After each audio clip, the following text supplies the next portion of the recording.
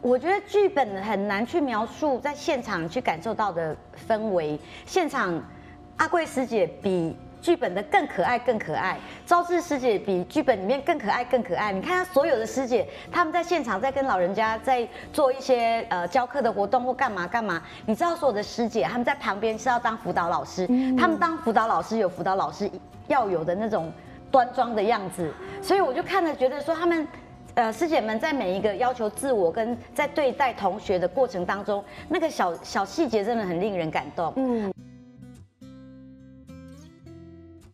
欢迎收看《大爱会客室》，我是碧秀同学，早安。今天呢，邀请到两位来宾，本尊分身一起来。首先来欢迎的是我们陈阿贵师姐，师姐好，主持人好，全球的观众朋友大家好。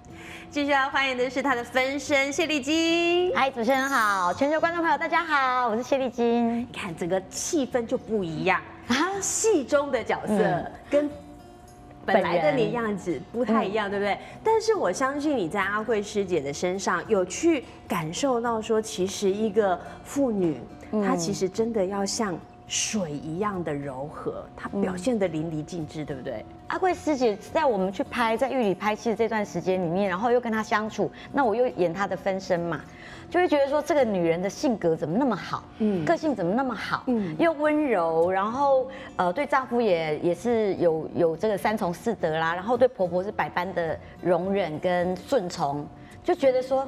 我要怎么找你的缺点呢？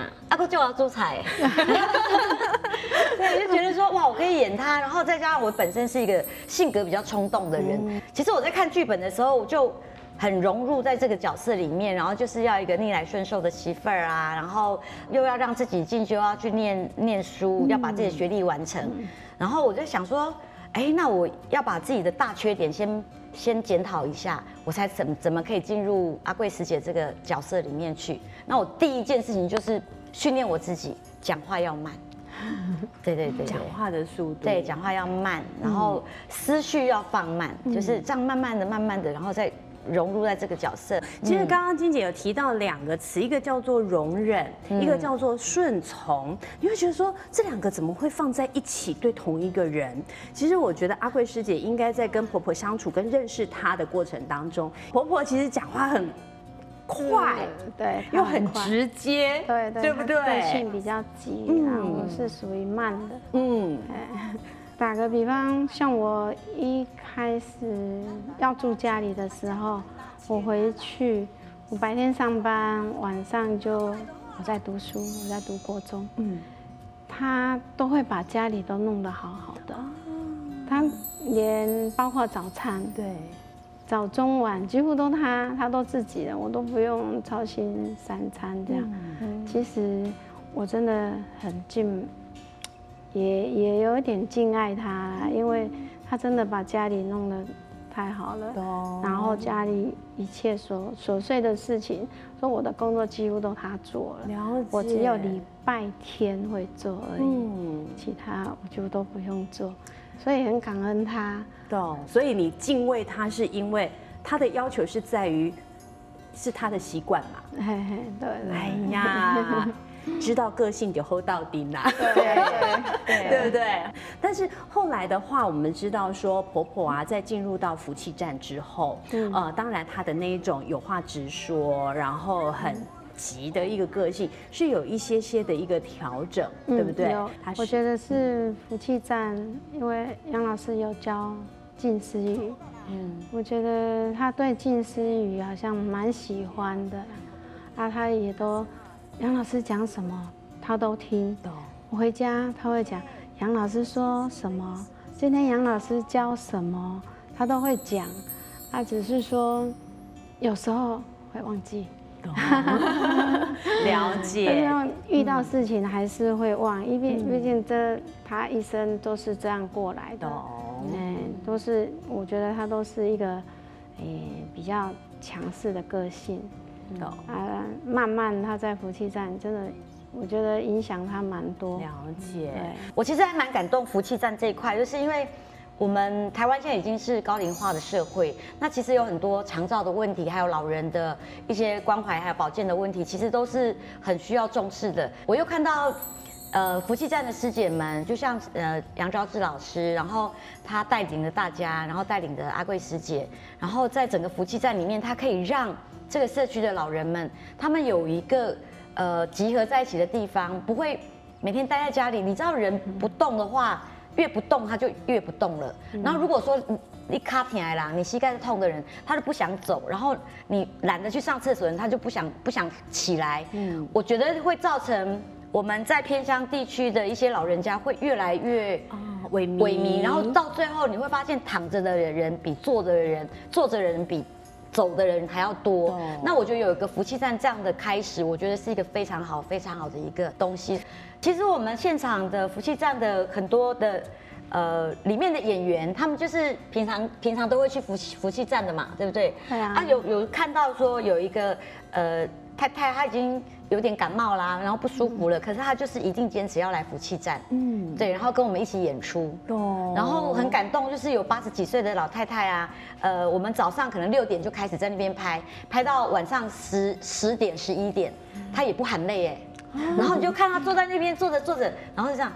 睡着了，就不等。睡着，然后睡着之后再起来，然后再继续跟我们拍这样子。我觉得长辈们都会有一种希望被看到、被肯定，有一种存在的价值，对不对？就算在那边坐一整天，他都觉得很开心，觉得我今天过得很有意义。所以后来婆婆呃婆婆啊，她也在这个年老的生活当中，她原本是什么样子的方式在对待自己的生活？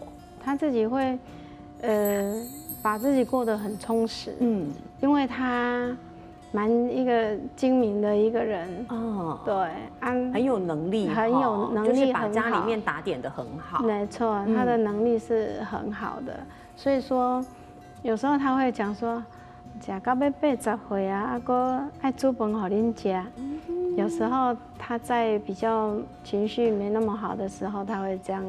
这样子讲，因为我要八十岁啊，我爱煮饭给恁食。安尼啦。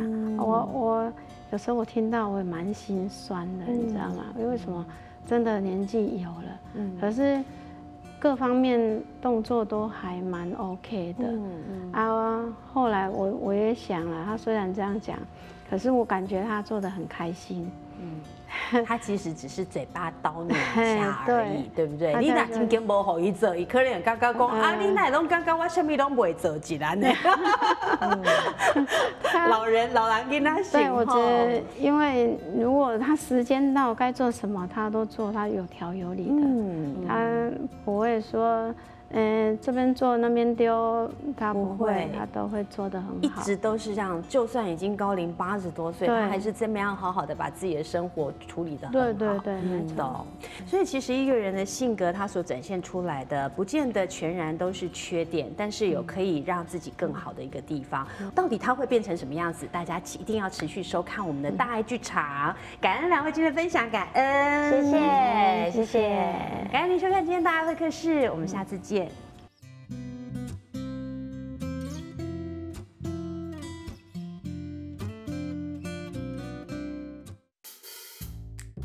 单位可以吗？会有进到底这个方式，想说，因为这里面它的格式隔间非常多，空间又不是说很大，想要在里面屋子里面穿梭，融入这个家跟这个建筑物的一个结合，做更不一样的一个气氛。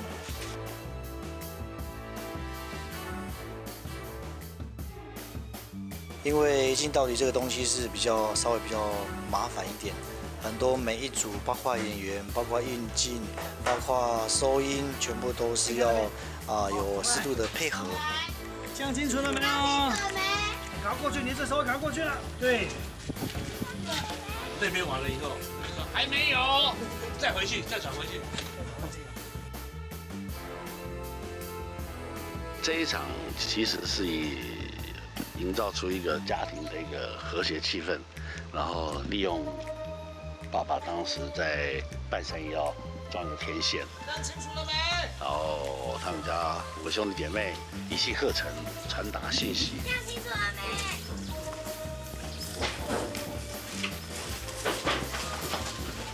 看清楚了没？还没，还没，这里讲，在这里，在这里讲。讲。大家清楚了没？再讲。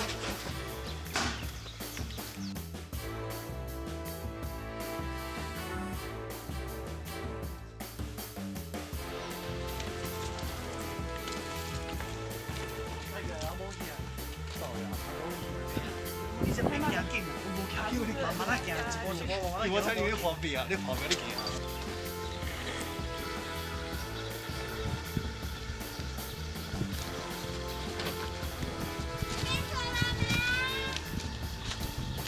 一直到屋里面给最小的弟弟，然后再从屋里面最小的弟弟再传达出来，回传给父亲，告诉他说位那个天线的位置。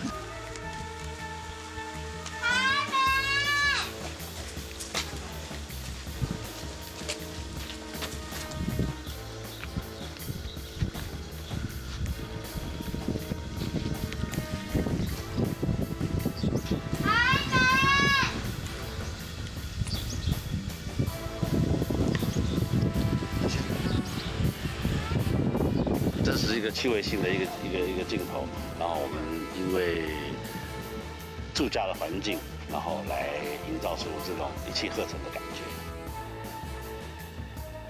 清楚了没。清楚了没清楚了没。